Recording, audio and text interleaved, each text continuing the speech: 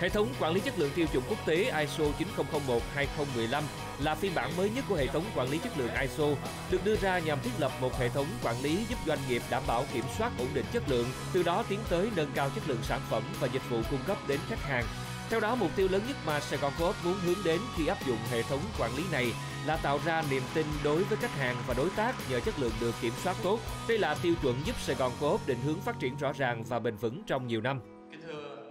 Theo tiêu chuẩn ISO 901, à, sàn cớp đã xây dựng các cái quy trình kiểm soát chặt chẽ hàng hóa từ đầu vào cho đến trong quá trình kinh doanh và hiện nay là sàn cớp cũng đã có xây dựng một cái trung tâm kiểm nghiệm và một cái xe kiểm nghiệm để mà có thể kiểm soát hàng hóa từ à, từ cái nguồn nguyên liệu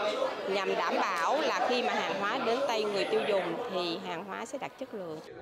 Sau hơn 28 năm hình thành và phát triển, Sài Gòn Co-op hiện nay sở hữu hầu hết các mô hình bán lẻ hiện đại và được xem là nhà bán lẻ hàng tiêu dùng nhanh thuần Việt hàng đầu Việt Nam.